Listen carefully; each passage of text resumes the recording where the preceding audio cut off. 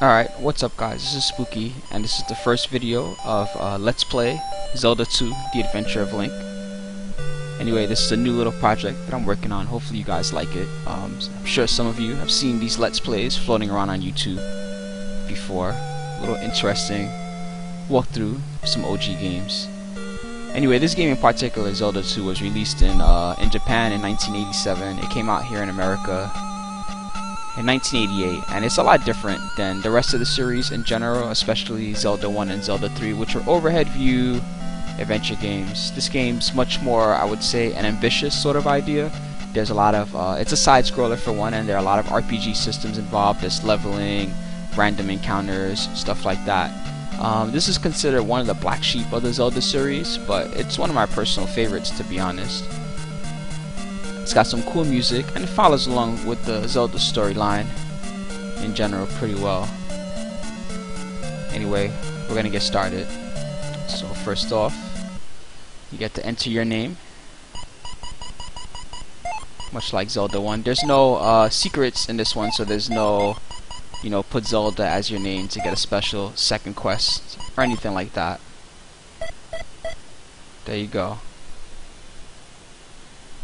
Anyway, the storyline for this game uh, involves Zelda getting put to sleep by Ganon's minions. The only way that Link can really wake her up is to uh, receive the Triforce of Courage, which is the third Triforce. It wasn't really talked about in the first game. But, um, of course, Ganon's minions are looking for a way to revive Ganon, and the Triforce is the plan that's involved. Here's the overworld map. You can pretty much travel anywhere. Here on the roads it's safe, but as you see, the second I step into this area, we get a lot of uh, random enemies that pass by and put you in a random encounter. You can see on the top there's uh, magic and life, and there's also a sword there. Those are for your levels. So everything's level 1 right now for me. And you can see the experience in the top right. Right now I have 4 XP, I need 50 to gain a level. So I'm gonna go here to this little tree area not actually where I meant to go. The random encounter just happened to come out at the perfect time. You can actually use random encounters to avoid things that are built into the map. Anyway, the reason why we're going here is because this little experience bonus here. It's perfect, gives us our first level, which we're going to put into life. Each level has a, a set amount of experience that you have to reach to level up. But that's good. Uh, leveling up life is very, very important. Anyway, before we continue on, we're gonna head to this town that's nearby to us.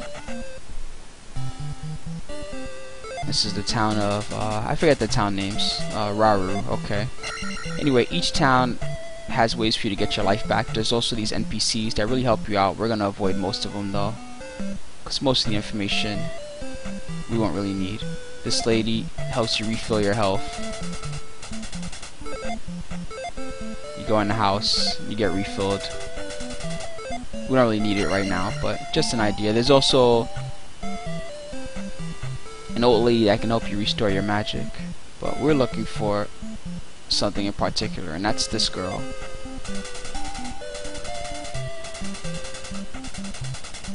Alright. So we get to talk with her dad.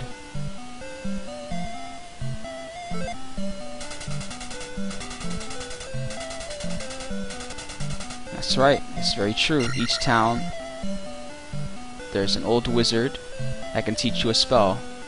But not everybody teaches you the spells for free. Some of them uh, require you to go on a short quest first. So we get our first spell. And it's a shield spell. Now the way it works, as far as casting spells, is I press start to bring up this little menu. I only have shield, so this is the only spell I can pick. And you press uh, select to activate the spell. Um, each box of magic is 16 points. So shield costs me 32, which means it will cost half of my magic to use it. And what shield does is pretty simple. It uh, doubles your defense, but it only works for one screen. So once you exit to the next screen, the effect is gone. Just gonna avoid most of these random encounters and just keep it moving. Anyway, our goal right now is to be to head to palace number one. And I'll explain about the palaces when I get there. We need the candle to be able to see in the dark, so that's why it's so black here. So anyway, the the palace that we want is north of us, but before that, I'm gonna head south here, and there's a very specific reason I'm doing that.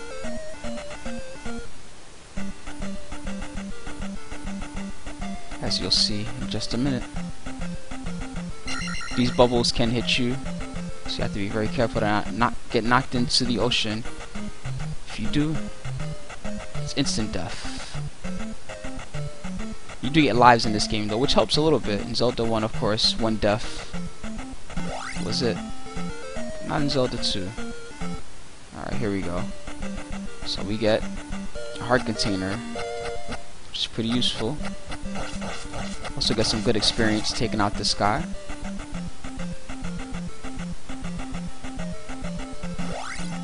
Alright, now we're gonna head over to our first palace. Now the reason for each particular palace is that Link is given uh, these six crystals. You can see them here in my menu. Um, you can also see how many keys you have on screen and how many uh, extra lives you have left. Uh, speaking of which, we just lost a life. So we got two spookies left.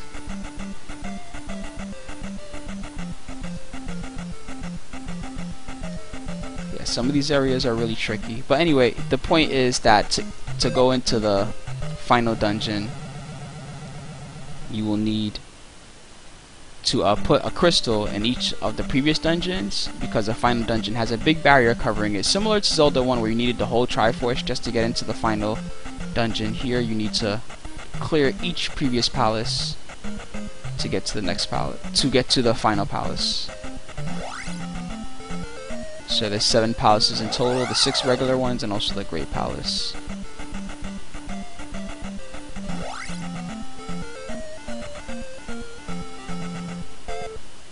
Alright, here we are. This is the first palace. We only have one life left, but this palace is pretty easy. You can control these little elevators.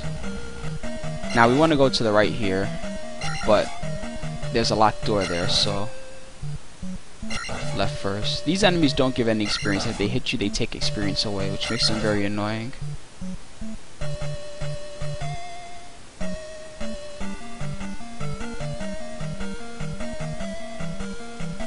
Skeleton enemies. Yeah. Anyway, if you hit them low, you'll get the kill.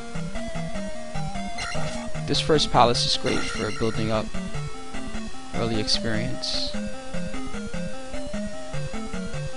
Each dungeon has a boss and also an item. You need both to actually clear the palace completely. That blue bottle that you saw there was a magic refill. We didn't need it though, since we're still full magic right now. And full health for that matter. Anyway, our goal by the end of this palace is to try to not only beat the palace itself, but try to get uh, everything to level 2 if we can. These skull enemies have a lot of health, so I'm just gonna skip it. If they hit you, they take your magic also, which is really annoying.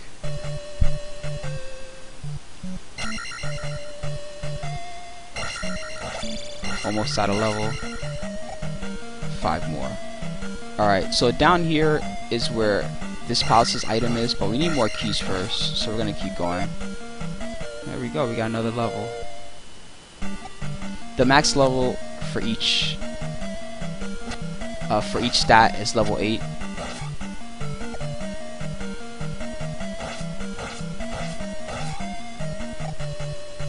As you can imagine, level 8 and everything is pretty sick. You take very little damage from most enemies. You deal a lot of damage, and your magic costs almost nothing. That's how it works. Each level in life, of course, makes your defense better. Each level in attack doubles your attack.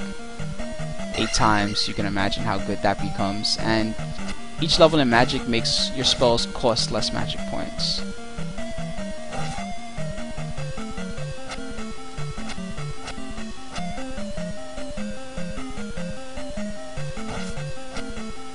Weird enemies just chucking stuff.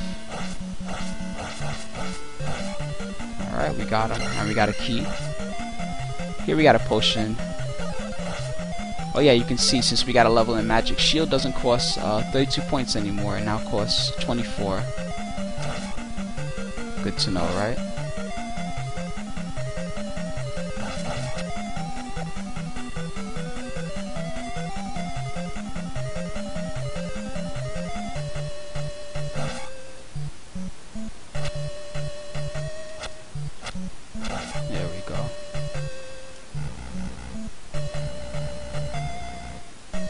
Alright, so now let's go back to where that item was hidden.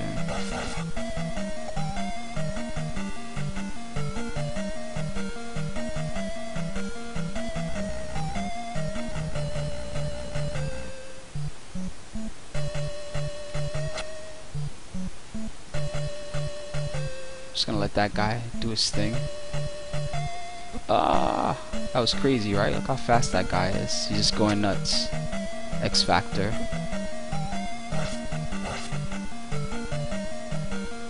Still gotta be careful. The good news is if I get to 150 XP, I will get refilled. Which is very important. I'm gonna take that potion. See if I can get this without messing up. Yes, nice. There we go. Got our health back.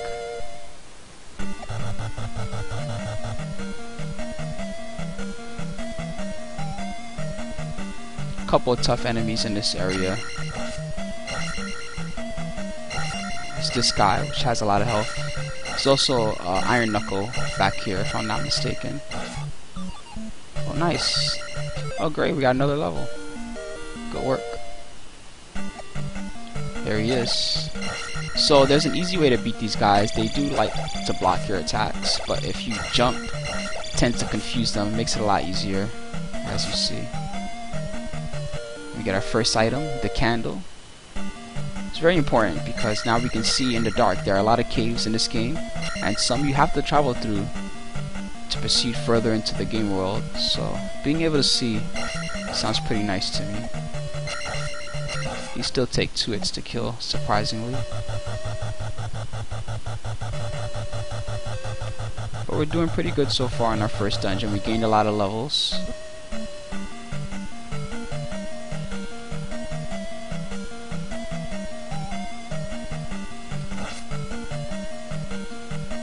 Just doing that to stop that guy from catching up. Alright, and with the project of getting our first item out of the way, it's now our job to finish off this dungeon.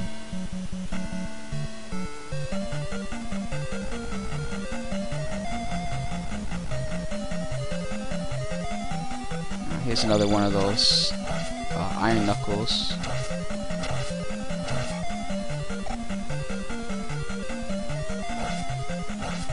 Might be able to get another level. We'll see.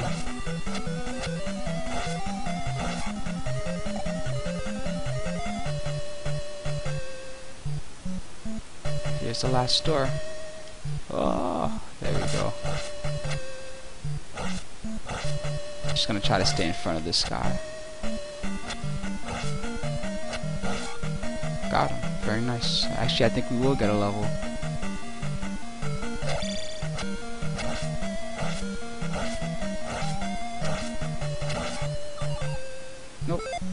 Or not.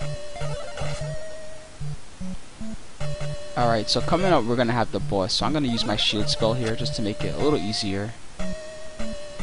Here he is. So this guy's uh, completely armored on the body, which means that we only want to hit the head. He has a lot of health too, he's pretty tough. If he hits you with his mace, does a ton of damage, even with the shield spell on. Almost hit me. Gotta be careful. That wasn't so bad, actually. Oh, if that was, wow. It, like, launched me across the screen. so, good job to us, guys. We got the first boss taken out. Now, uh, since we're so close to our next level, I actually want to go back, and I'll tell you the reason for that in a second before I proceed. But we only need 19 experience to the next level. I'm sure we can find some enemies to get that last little bit of experience before we finish off the dungeon. Some enemies don't regenerate, as you see. The Iron Knuckle didn't come back, as well as that other guy that chucks the mace at you, or whatever it is he throws. Same with the Stalfos that were in this room. So I'm gonna go to one of these skull enemies, because although it takes a while to kill, they're worth good experience.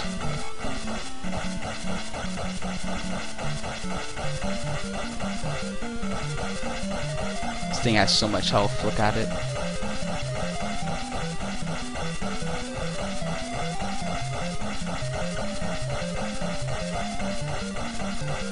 Die already.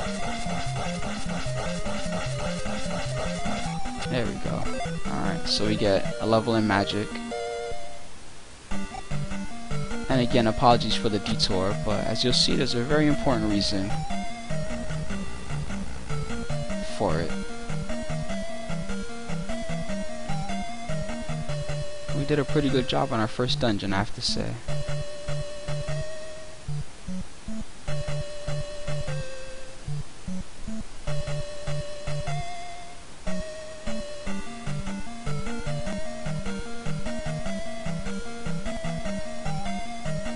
This is the boss area that we just came from.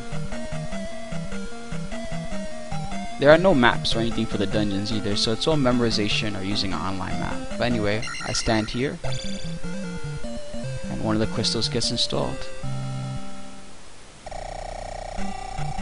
There you go. So um, every time you beat one of these dungeons, you essentially get a free level, which is pretty useful. Um, one of the things that you want to do is you want to kind of plan when you know if you if you know you're about to take a crystal you may want to finish off a level first. That way you can maximize uh, how much free experience you get from the statue. But anyway I'm gonna take this life level up. I'm just gonna take the level ups in order from now. You do have the ability to skip and decide that you want to take for example a, a power level up before a life level up but that still requires more experience. So anyway guys uh, that's it for part 1 of Let's Play Legend of Zelda 2 Adventure of Link. Hope you guys enjoyed it and expect to see more of it soon Thanks for tuning in. See you guys later.